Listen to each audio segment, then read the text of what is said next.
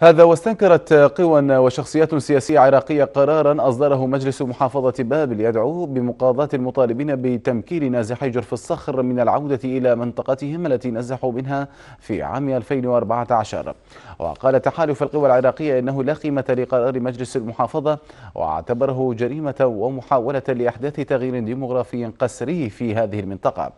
واعتبرت هذه القوى السياسية أن قرار المجلس انتهاك واضح لحقوق الإنسان وتشريع لمخططات التغيير الديمغرافي بدوافع طائفية تقوم بها أطراف باتت متنفذة وتعجز الحكومة العراقية على مواجهتها وكبح جماحها. وتقع منطقة جرف الصخر شمال محافظة بابل وقد أدت معركة استعادتها من تنظيم داعش الإرهابي في أكتوبر تشرين الأول 2014 إلى نزوح سكانها الذين يتجاوز عددهم نحو 120 ألف نسمة.